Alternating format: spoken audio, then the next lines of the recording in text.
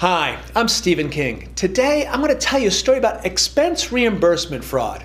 This is when an employee submits a fake or inflated expense report to an employer and then gets paid for it.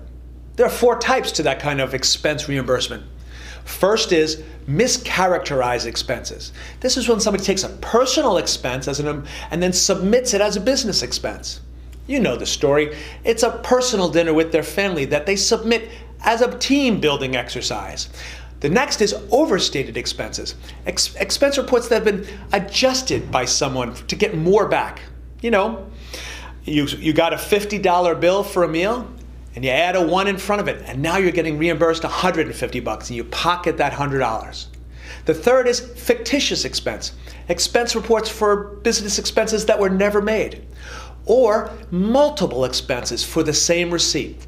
So if somebody has a hotel expense, they submit it, and then they submit the same expense next month by submitting a copy of their credit card statement.